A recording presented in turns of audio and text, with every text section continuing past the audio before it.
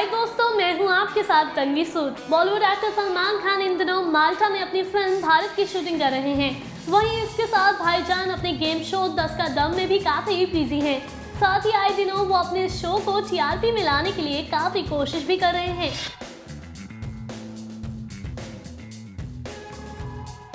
सलमान दस कदम में अपनी ज़िंदगी से जुड़े कई किस्से आए दिन फैंस के सामने शेयर करते ही रहते हैं। कभी अपनी शादी को लेकर तो कभी किसी और वजह से। वहीं अब लीजिए भाईजान ने अपनी ज़िंदगी से जुड़ा एक और बड़ा खुलासा कर दिया है, जिसे जानने के बाद सलमान के फैंस भी दंग रह जाएँगे।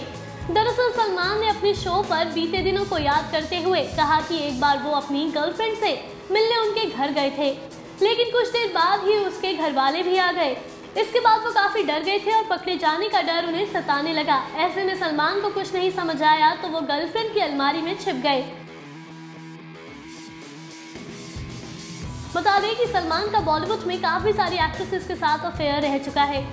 लेकिन भाईजान अपनी किस गर्लफ्रेंड के बारे में बात कर रहे थे, इस बात का खुलासा भी खुद भाईजान कर सकते हैं। बात करें सलमान के प्रोफेशनल फ्रंट की तो वो जल्द ही कटरीना के साथ भारत में नज़र आने वाले हैं।